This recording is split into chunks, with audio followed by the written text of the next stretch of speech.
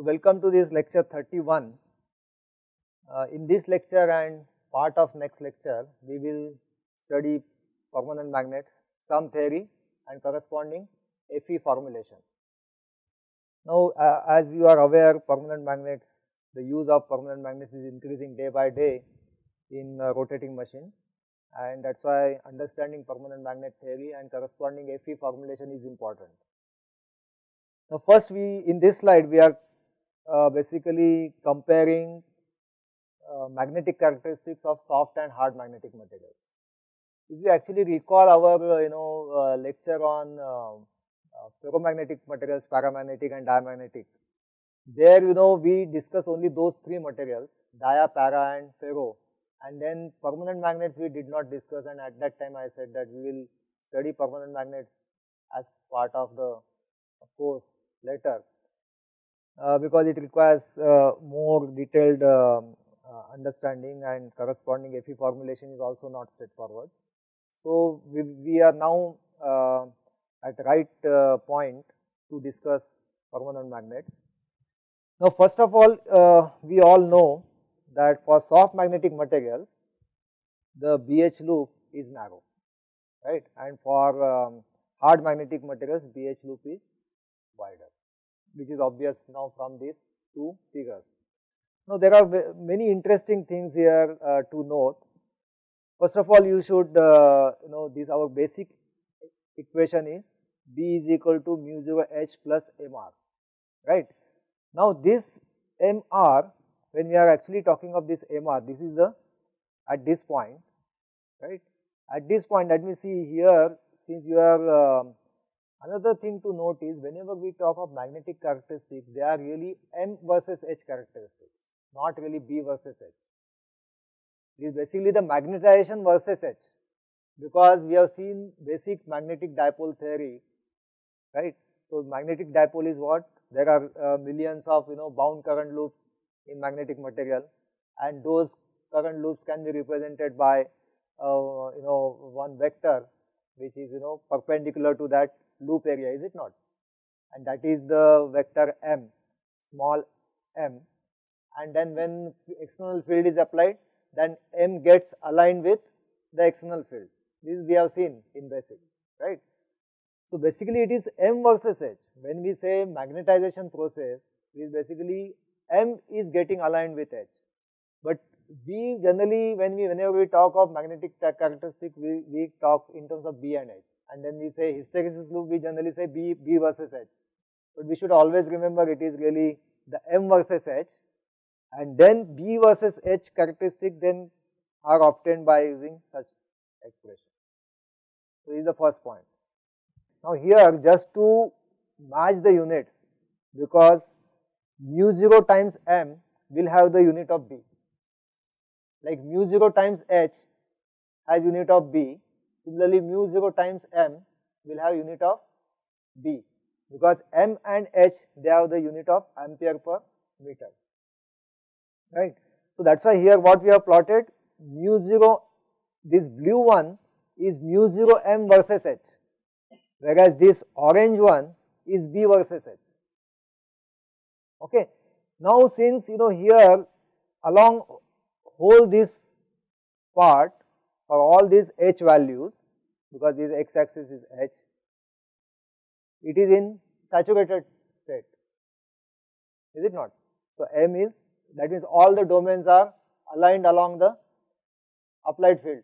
So, that is the meaning of this, this being constant, there is no further magnetization. So, when that being the case, that is when it is saturated, mu will be equal to mu naught, is it not? So, then that is why B, B versus H characteristic will, will go as sort of straight line with this slope being equal to mu naught, clear? So, this slope is mu naught, okay. Only when it comes out of saturation here that means when you suppose initially you have uh, taken some permanent magnet material which was in raw state which was not fully magnetized. And then you apply external field H and take that material into saturation. That means you increase H value substantially. So then you are somewhere here and then in terms of B you are here. And then you reduce the excitation to 0 then it will come to this point. Is it not?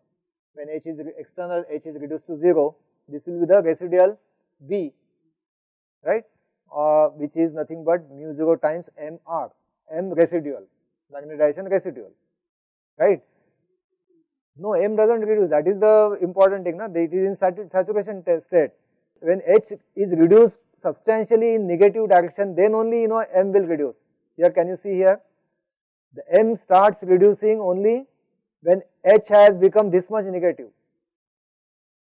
right? And that is the main difference between the your normal uh, soft magnetic material and hard magnetic material. The HC is very high. And here in this case the M starts reducing much before in the first quadrant itself the M starts reducing. Here you can see the slope is continuously changing the you know it is downward slope but here the slope is more or less flat right. So here the uh, another interesting thing to note here is B goes to 0 first then M goes to 0. That means when you go on applying the uh, you know uh, H when H becomes negative, negative and negative, more and more negative, first B reduces to 0 because one of these two terms is 0, is it not? Because H is negative. So, when this term cancels with this, B will reduce to 0, is it not? We are reducing H and making it more and more negative after having magnetized the magnetic material, permanent magnetic material. This negative term will cancel at some point with this and then B will reduce to 0 that is this point. And then further you take H further negative then you are bringing you know those, those magnetic domains they start getting you know reversed and then you know you have this M reducing. So now here the permeability is now different than mu 0 it is it is uh, substantially you know high. So, this portion and this portion permeability is much different than mu 0. So, you have the same characteristics have been plotted here, right. And now, if you zoom this second quadrant, second quadrant here, right, and this, this part is zoomed. So, the x axis this in vertical direction it is stretched. Now, this, this line, orange line in second quadrant is this line. So, this BH characteristic in second quadrant right and this is m versus mu 0 m versus h characteristics right. And then uh, as, as I have already explained mu r is close to 1 here.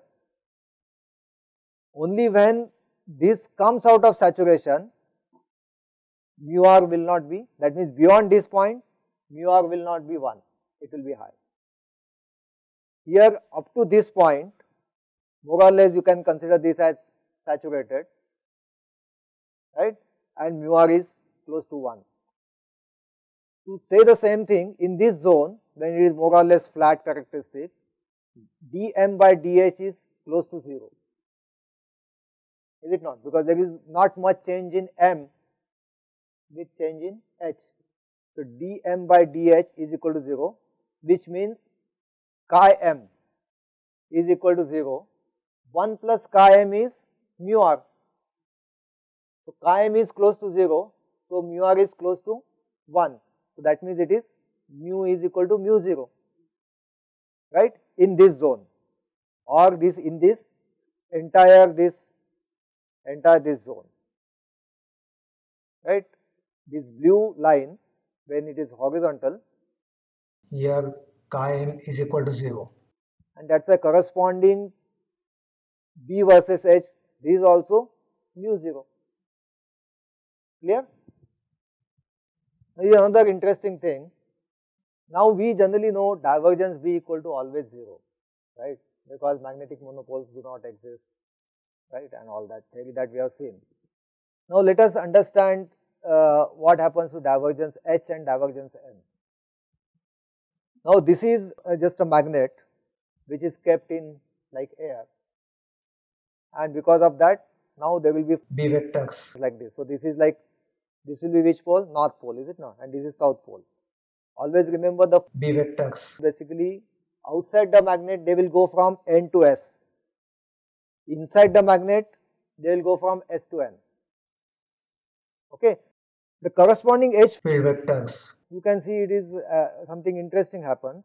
H field actually is reverse inside the magnet and it is along the B, H is along the B outside the magnet.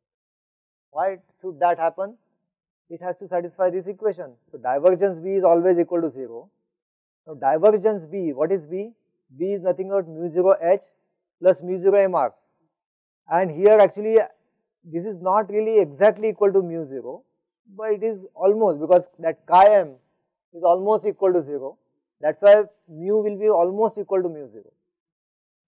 Generally, but you know if you see the text and uh, you know practical uh, uh, properties, permanent magnets have mu r of something like 1.05, it is close to 1. So, that sort of confirms that mu can be taken as mu naught. Okay. So, then if we agree that we can write here both as mu 0, then you know this mu 0 gets cancelled because right, right side it is 0. So, divergence H will be equal to negative of divergence of MR, right. Now, this is again why I am writing here MR because this is second quadrant operation. Why second quadrant? Because permanent magnet is magnetized and it is just sort of kept in air. So, moment, so this outside air is going to act as load on this permanent magnet, is it not? So, this permanent magnet is going to operate in second quadrant because this whether you know you are not physically seeing any load, but this air is load, right. Keep this you know permanent magnet shorted to a magnetic material, then of course H will be 0 and it will not act as a load, right. And it, it will actually the operating point will shift at this point, right. More about it little later. So, now in this slide let us analyze this magnetic circuit to understand those flux plot little bit more. So, now this is a permanent magnet here right and S and north pole south pole and this is a core material with high permeability almost you can assume tending to infinity and there is a air gap here right. So, now here as uh, we have shown uh, B is of course continuous red one. Divergence B is always equal to 0 right. M MR is basically from south to north right. Now H if you see H is blue. And remember this MR this is a residual. That means this we are again we are talking second quadrant. That means the magnet is is still in saturated condition demagnetization hasn't happened by any means right and this is like a MR is a DC DC bias we are actually talking in this region second quadrant right. Moment we say MR it is basically second quadrant with this saturation condition and the BH characteristic is linear right. Here if this is a high high permeable say ferromagnetic material then here also M will be there right. But then we can always M is if we are assuming linearity right then M will be proportional to H right and that is why then we will get B is equal to mu H right and hence if divergence B equal to 0 and since mu is constant and linear is it not. So, here everywhere divergence H also will be equal to 0 only if this this we consider consider as non-linear then mu will change in general with space and then divergence H will not be equal to 0 and divergence H will then be related to the corresponding change in mu with space. But here we are assuming that you know this ferromagnetic high permeable material is linear right and that is why divergence H as well as divergence B is equal to 0 outside the permanent magnet. And now here if you see this permanent magnet model there are two approaches. One is you know in literature we will see there is an Amperian model wherein this uh, you know whole permanent magnet can be represented by one single current loop Now that single current loop is is uh, how that also gets formed. Suppose you take take a cross section of a permanent magnet, you know there are number of these bound current loops, is it not? For this current loop, the current is like this. For this bound current loop, current is like this. So, here there will be current cancellation, is it not? So, what will remain is only the outside current, internal currents will get cancelled and that is why you will get one equivalent sort of current loop. This is only in one Z, suppose some cross section, suppose you take a cross section here. So, we are talking of this. So, along the vertical height there will be so many single current loops and that will add to M. Is this clear? So, this is this Ampere model, right. There is another model which helps us to explain this you know divergence M and divergence H not being equal to 0 at these boundaries and that is called as that is based on magnetic charges. Although magnetic isolated magnetic charges do not exist, here you know they are of use to us and here actually what we are doing is these magnetic charges here we are we will take this as plus and this as minus right. So, plus charge magnetic charges here and minus charges here right and these whenever in magnetics if, if we have to represent any uh, field by using magnetic charges they cannot appear in isolation. So, they will always appear in pairs.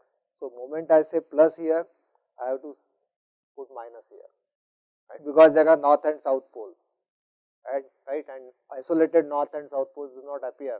So, similarly isolated positive or isolated negative charges will not appear. So, they, they have to appear in pair. So, here it is plus and here it is minus. So, now here you can say here you know because there are now magnetic charges, now you know these electric and magnetic field, fields become exactly sort of they become analogous. Now, we know in case of uh, you know parallel plate capacitor for example, here you have say plus and here minus. So, electric field intensity goes from positive to negative is it not? H is in blue. So, from positive to negative inside the magnet like positive to negative E field inside capacitor and outside H field is again from positive to negative fictitious magnetic charges. So, perfect analogy is established.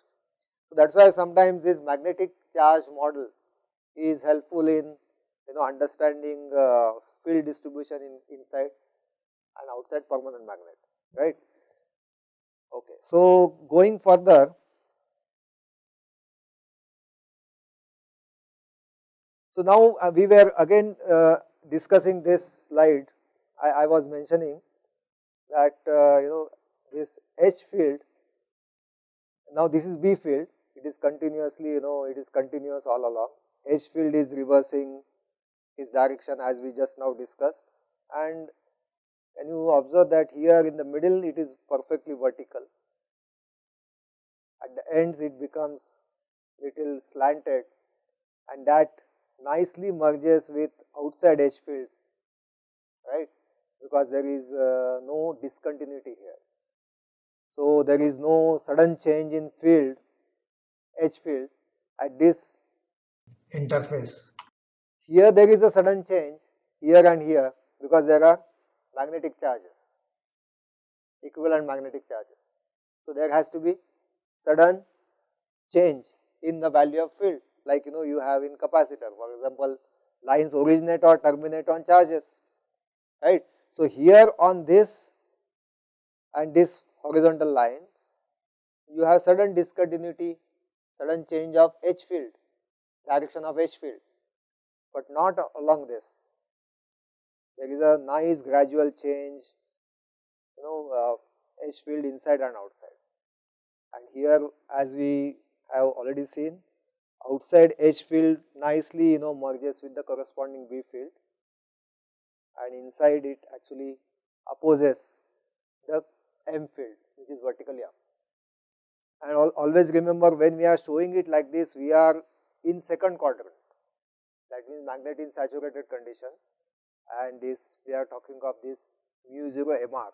Moment I say MR that means it is constant, right? And M is not proportional to H. MR is not proportional to H because it is constant. Only when it comes out of saturation, it, the, the, the proportionality will hold, right.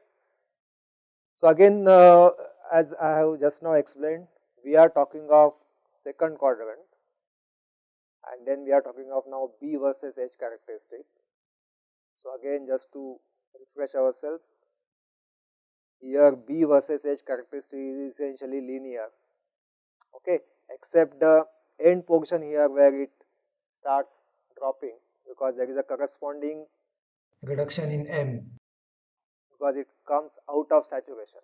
So, only at the end of the second quadrant there is a reduction that actually you know change here we are not actually representing here because later we will see the characteristics because this point will never be really reached because this point uh, will, will mean perfect open circuit which is not possible in case of permanent magnet. More about it uh, after some time. Okay. So, here what need thing to remember is we are modeling it as just a straight line without this you know inward going curve at the end. Okay. So, now uh, B is equal to mu 0 H plus M plus mu 0 MR. Now, see this mu 0 MR is that saturation because of that saturation. This M is due to the inherent because there are still you know some uh, because mu mu r is not exactly equal to 1 mu r is something like 1.05 or 1.06 for permanent magnet. That not being equal to 1 is being represented by this m there is still some you know uh, scope for moment you say 1.05 that means the the material is not fully so there are still some magnetic domains which can get further aligned is it not? And that has to be represented. So, that is basically represented by this a capital M and whereas this capital MR is rep representing all those domains which are already aligned and in saturation condition clear. Okay. So, now uh, going further, so now um, uh, uh, this is the same thing we can write it as uh, mu 0 1 plus chi m h where chi m into h is capital M and then mu 0 m r. And then as we have been discussing chi m is if we take almost approximately equal to 0 that means then mu r is approximately equal to 1 right. Then of course then this m this term will not appear. Right. So, th then it will be simply mu 0 h. Right? Because xm will be 0 then m capital M will be 0. Okay, so now uh, so Mr is residual magnetization, magnetization of permanent magnet, Br is the residual flux density at this point. So H is due to external magnetic load or free current. So, this is again important to understand. Due to external magnetic load that means permanent magnet just kept in air. Moment it is kept in air, the surrounding air is acting as load, right? And that is why that uh, you know that, that is basically H due to that, okay. Second is due to free current. If you pass the current in this direction and take the ma magnet to saturation or if you demagnetize, then that would represent this H, is it not?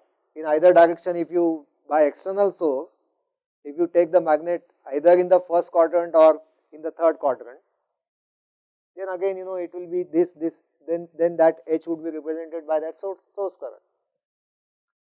Okay. So now H, H is equal to 0, almost equal to 0 under short circuit, right. So it will be then B is equal to mu 0 M R that is equal to B R. but these generally you know this short circuit also H generally will not be exactly equal to 0 because there will be you know mu r for a magnetic material ferromagnetic material outside. Even if you you know take this as a shorted one is it not? If you take this as a complete short circuit without this air gap mu r although we take infinite actually it is not infinite. Right? It is high but not infinite. So that is the reason that you will not have a perfect short circuit so then you will have something like maybe here like this. The load line will be something like this. Okay? Close to short circuit. If you actually short the permanent magnet by a high permeable ferromagnetic material. And uh, I have already explained you for chi m h is the demagnetization due to loading of free current and uh, h is equal to for h is equal to hc when you actually reverse uh, if you are having uh, you know um, free current you are exciting by some free current and if you take it to this point then the uh, the magnetic material will get permanent magnetic material will get demagnetized.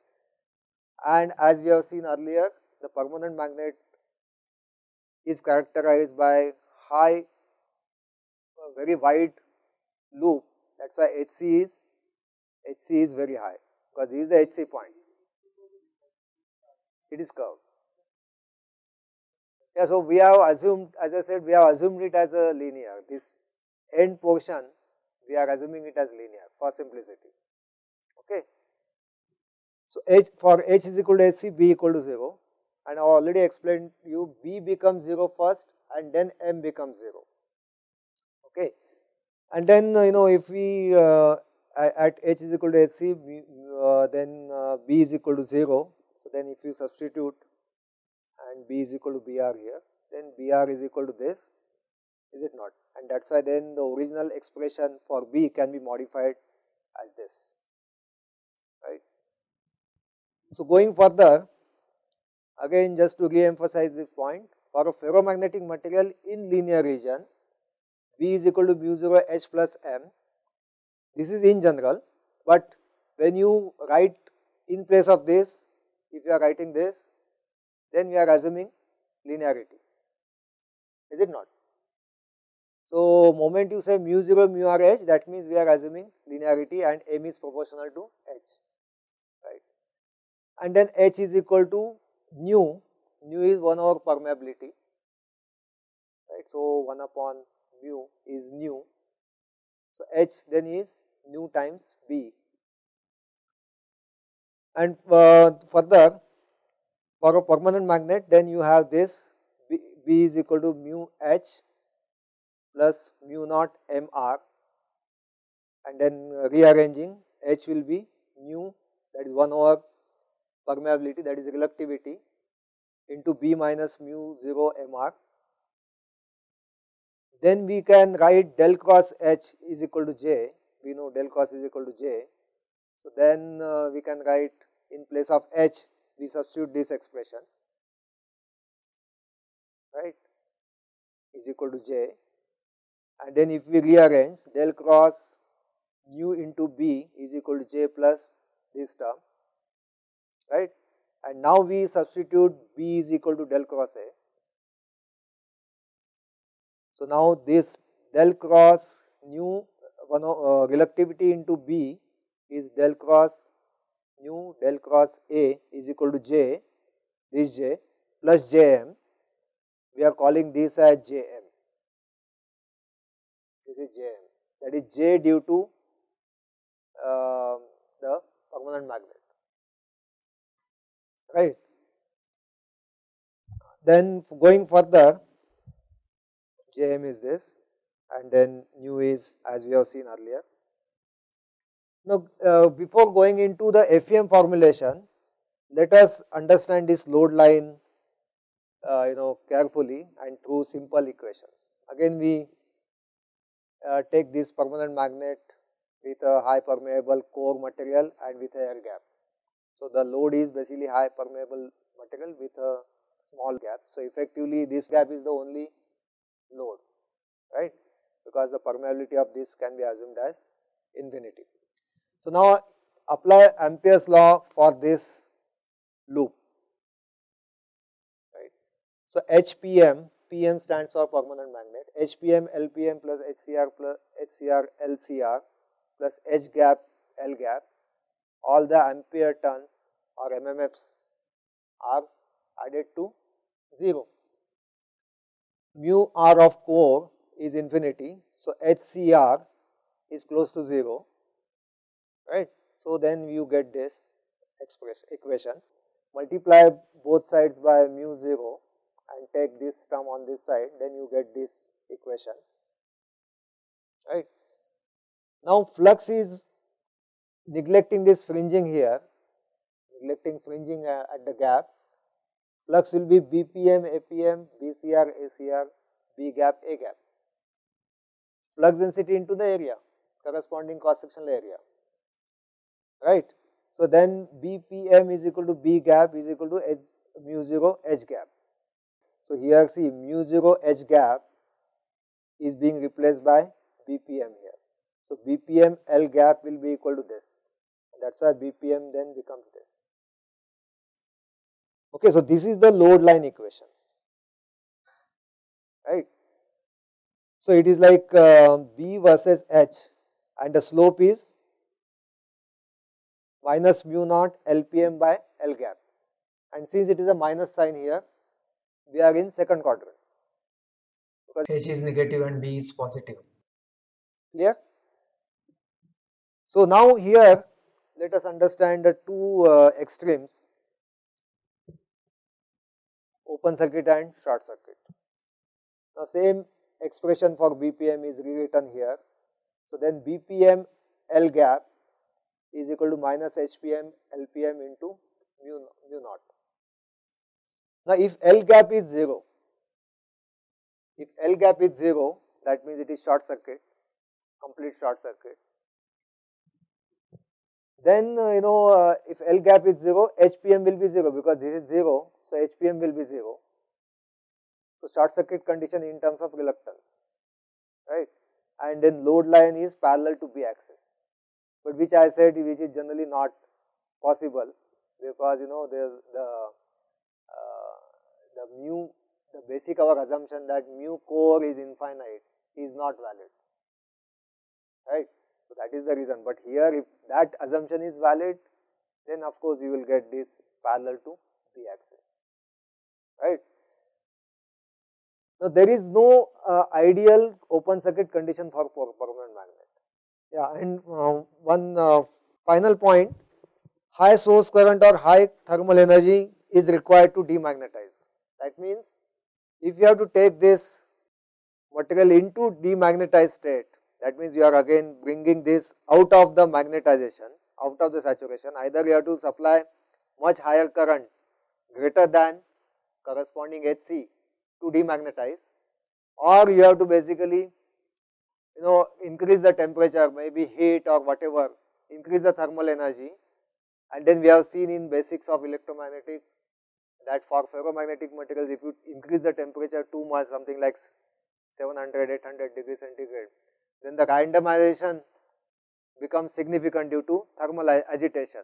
And that will basically make this all these domains disoriented in different directions and that way you can demagnetize right. So, that that is the last point that I wanted to mention. So, we will stop at this in this lecture 31. We will in the next lecture we will see how to implement FEM for permanent magnets.